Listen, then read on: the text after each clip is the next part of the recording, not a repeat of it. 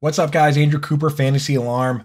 Jarvis Landry just signed with the Saints, which takes an offense that was kind of in flux, kind of up in the air, and really solidifies what they're going to do now, right? We know Michael Thomas is. He's their main piece. He runs a lot of slants, he runs a lot of intermediate routes. We knew what he was going to do.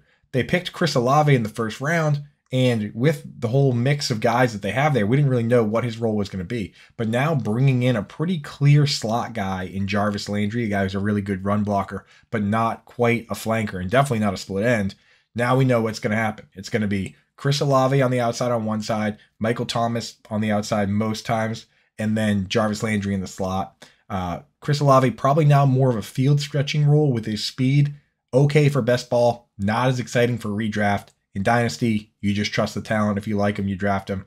That's the way it's going to go, it looks like.